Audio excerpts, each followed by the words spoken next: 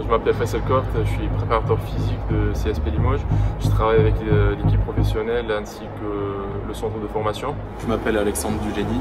Euh, cette année, je suis stagiaire euh, au CSP en tant que data analyst.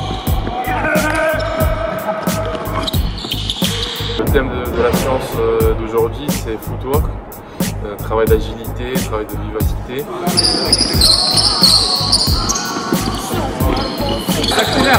Après. On est en coup de J'accélère derrière. Mon travail consiste à, analyser les données des joueurs pour euh, établir qui est en forme, euh, qui ne l'est pas et comment adapter ses séances d'entraînement pour qu'il récupère son niveau de forme.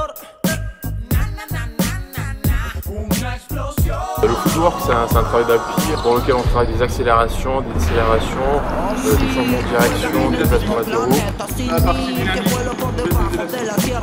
Juste à les placer dans le boîtier. Et le, boîtier me transfère directement sur l'ordinateur. Là où après je pourrais faire les analyses. Et séquencer l'entraînement selon les différents exercices qu'il y a eu pendant la séance.